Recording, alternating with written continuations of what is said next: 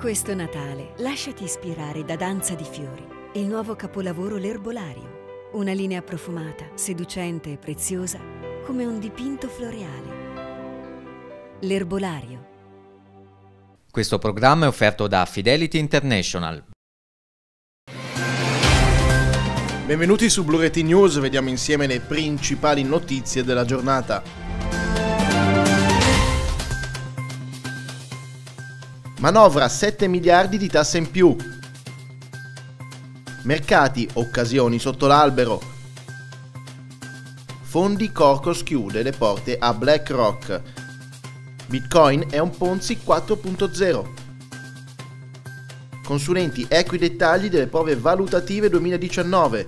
Nuovo albo, alto giro, alti autonomi. La manovra di bilancio 2019 porterà in dote più tasse che andranno a colpire soprattutto imprese e banche. Ci sarà l'ecotassa sul settore delle auto, l'aumento dell'IRES, l'azzeramento del credito d'imposta IRAP, i balzelli sui giochi e web tax sul commercio online. In tutto fanno 7 miliardi di euro. Questo è il frutto dei febbrili negoziati con l'Unione Europea per raggiungere l'obiettivo di abbassare il deficit di bilancio e, al contempo, trovare le risorse per finanziare le due riforme bandiera del governo giallo-verde. Quota 100 per le pensioni e il reddito di cittadinanza. In più ci sarà la potenziale mannaia delle clausole di salvaguardia, ovvero l'aumento dell'IVA promesso dalla Commissione nel caso i conti non dovessero tornare. Nel 2020 vale un aumento di 23,1 miliardi di euro che nel 2021 potrebbero diventare 28,7, ammesso che poi il governo non trovi le risorse per disinnescare gli aumenti dell'IVA.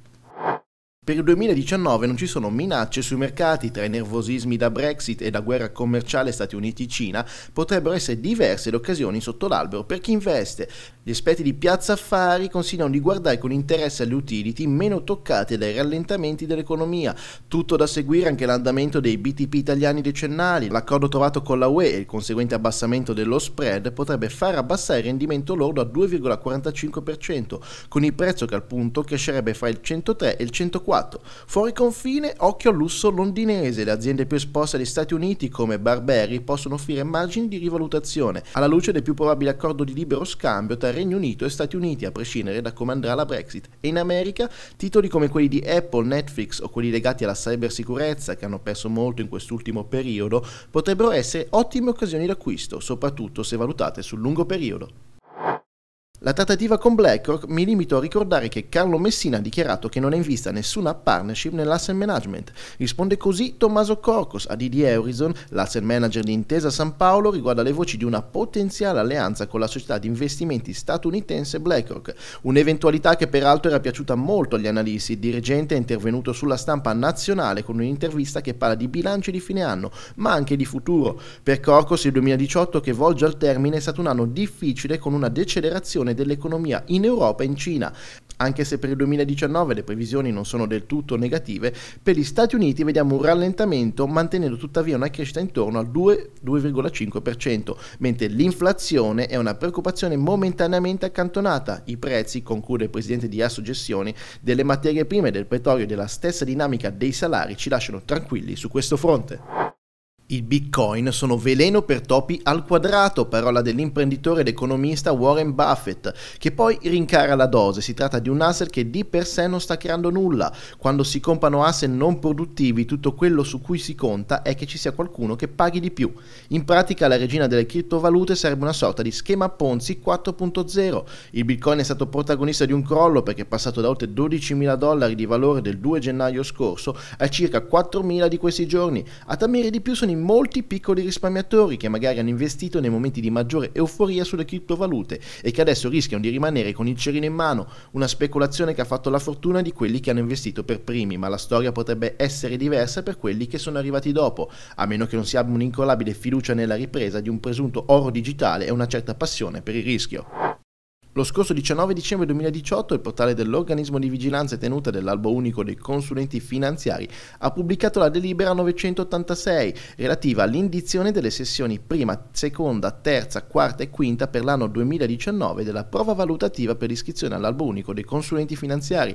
Si prevedono appelli nei mesi di febbraio, marzo, aprile, maggio, giugno, luglio, settembre, ottobre, novembre e dicembre 2019 nelle sedi di Roma, Milano, Venezia e Palermo. Secondo il calendario stabilito è possibile disponibile presentare una sola domanda di partecipazione alla prova valutativa per uno degli appelli previsti a partire dal 14 gennaio 2019 e l'invio può essere effettuato fino alla chiusura del termine di presentazione della domanda indicato nel bando. Il calendario degli esami per l'iscrizione alla prova, completo delle informazioni relative alle sedi e alle date di svolgimento della stessa, è disponibile nella pagina del portale di OCF dedicata ai bandi delle prove valutative. Continua a crescere il popolo dei consulenti autonomi iscritti all'apposita sezione del nuovo albo unico dei consulenti. Il portale dell'organismo di vigilanza e tenuta dell'albo unico dei consulenti finanziari ha trasmesso la delibera 989 contenente 5 nuovi nominativi appartenenti alla categoria degli autonomi. Vediamoli nel dettaglio.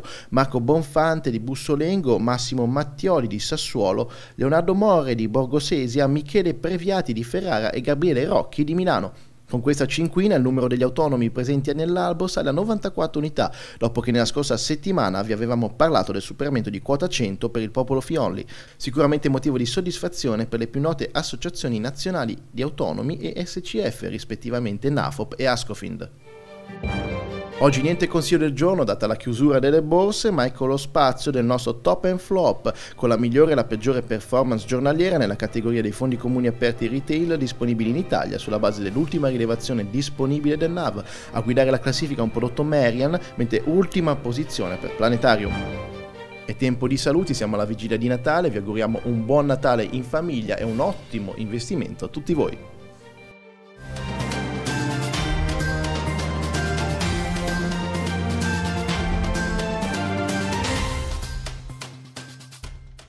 Questo programma è offerto da Fidelity International.